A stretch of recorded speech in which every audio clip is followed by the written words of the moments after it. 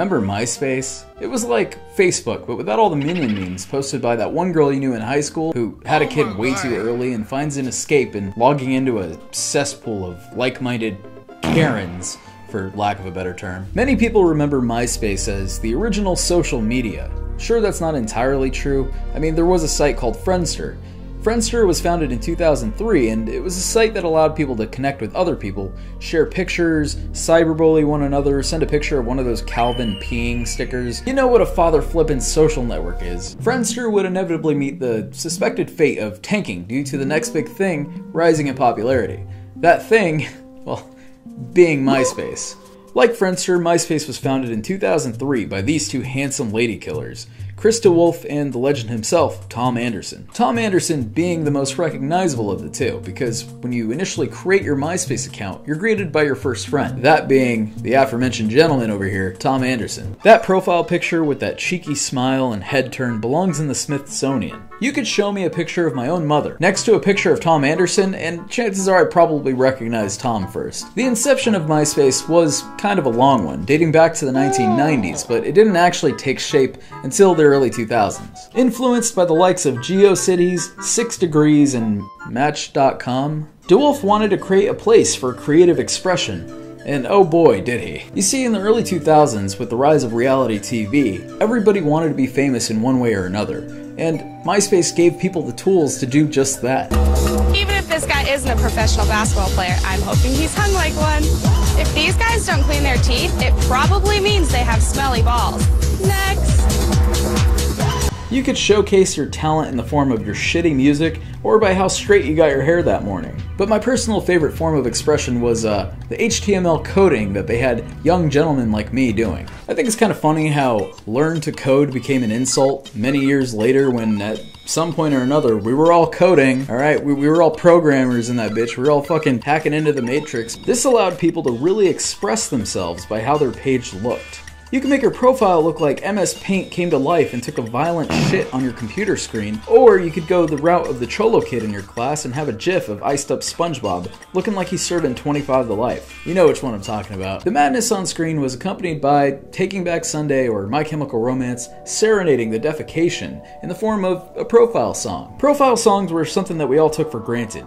We didn't shill our mixtapes or SoundClouds. We just showed what kind of music we were into. And uh, that, that, was pretty cool. There was so much you could do with such a basic social networking site. I mean, you had bulletins, uh, whore trains, top eights, which later turned into top two minis. Am I right? Deciding your top eight was a terrible, terrible life decision for a young adolescent like myself. I mean, this was something that was going to affect whether or not you lost the respect of your peers at school the next day. This was serious business, man. Between the years of 2005 and 2008, MySpace was the largest social networking site on the internet, and even got offered to be purchased by the cybernetic cyst Mark Zuckerberg for $75 million. Sucks to suck, and zucks to zuck.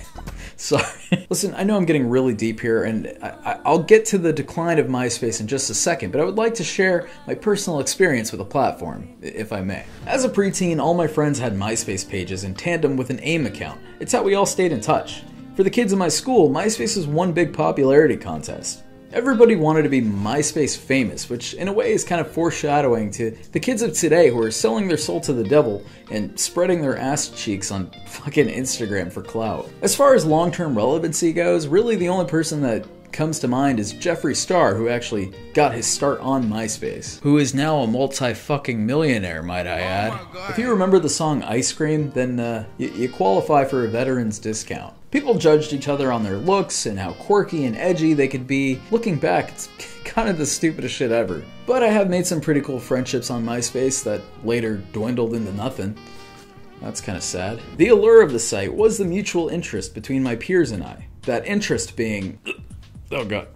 oh god. The scene era. The scene era is the first thing that comes to mind when any one of my friends brings up the MySpace era. We all kind of know exactly what's being spoken about. MySpace started a digital cult, for lack of a better term.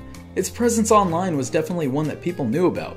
Everybody and their goddamn chihuahuas had a MySpace page. It was a big change in the way people got connected. No longer were the days of exchanging email addresses and sending fucking carrier pigeons. Back in 2005, a comedian by the name of David Lehre created a video so iconic that it circulated around my school like wildfire. And that video was titled MySpace the Movie. Showcasing the cliche stereotypes of everyone on the site, it was truly the epitome of relatable content XD. If you want a blast from the past, I highly recommend watching it, because honestly, it's still funny to this day. Like, yeah, I, I know MySpace is long gone, but this shit, it, it's still hilarious. But I digress. Back to the fall of MySpace. MySpace brought a lot of people together. It brought light to pop music, indie music, screamo, hardcore, you name it. It definitely did a lot to shape the connected world we know today. In comes the Zuck Book, oh a cancerous cesspool filled with steamy boomers with their nipples at attention, checking into their favorite dive bar, wherever the hell they go to escape their PTA meetings. Facebook and MySpace were competing for the spot at the top for a hot minute. Like I said earlier, Zuckboy offered to buy MySpace, but they turned it down. But on April 19, 2008, Facebook overtook MySpace like a dog in heat mounting MySpace to the floor and having its way with it. It was a grotesque display of a dog eat dog world. But what the hell happened? How did Facebook manage to catch up? I mean, Facebook was kind of notorious for being the Chuck E. Cheese for boomers. Naturally, this was a surprising turn of events. The reason for MySpace's downfall was its constant need to cater to people centered around entertainment and becoming famous, as well as lack of updates to keep its existing user base engaged. Facebook, on the other hand, used its resources to provide updates to its users and become an overall more user friendly social networking experience. But I beg to differ. You see, MySpace was more of a place to meet new people, all on the basis of shared interests. And Facebook is nothing more than a glorified yearbook.com. You think I care about what the hell Greg from third grade is up to nowadays? You think I care about that big fish he caught last Saturday? No, I don't. Go fuck yourself, Greg. But the real question is could MySpace have survived? What if they were more forward thinking? Could they still be around? Well, probably not. I mean, an android like Mark Zuckerberg wasn't exactly going to give up until he ruled the cyberspace. Oh, and uh, fun fact Justin Timberlake actually ended up buying MySpace in 2011, but since then it's been bouncing around from owner to owner like a drunk girl at a frat party. Moral of the story is Facebook sucks ass, MySpace was awesome, and it will always be looked at fondly by anyone who was raised by a computer. I can safely say if it wasn't for MySpace, I probably wouldn't be the man I am today. And uh, that's really not saying much, I guess. I need to I need to get out more. I need to go outside. Thanks for watching, everybody. Oh, would you look at that? We're in the future, as you can tell by my uh, my, my haircut and my slightly longer beard. Thank you guys so much for watching this video. Please consider subscribing if you enjoyed it. If you didn't, hey, no sweat. It's all good. And also big thanks to my buddy Biodegradable for editing this video. Um, I did go in there, I, threw in a little little uh, little sprinkles, but he did a, a, grunt of this video. So thank you so much. Um, if you guys need video edits done, please hit him up. Here's his handle, and I'll also put it in the description as well. I swear to God, I'm getting a new booger wall. All right, it's coming. I've been saying it for like the last two videos, but I swear to God, the new booger wall is coming. Uh, but we got a newbie, so let's well, let's let him uh, meet the family. Big thank you to Frost Ride, like Nancy with the J, that one, Digital Dice Hater, Trivia Chick, Zachary Pouillet, Bo Black, Internet Unwind, Satan, Mr. Caleb G98, Super Cyanide, Rebecca Anderson, Tony Bryant, The Bleach Boys, Doe Jangles, Bixler, Looney Mania, Burger Creek, Ass Eater, Polite, Alpha RW. Everybody, please welcome to the chat pantsless gamer. I, I know he's a little weird. You know, he's not wearing any pants, but don't be afraid of him.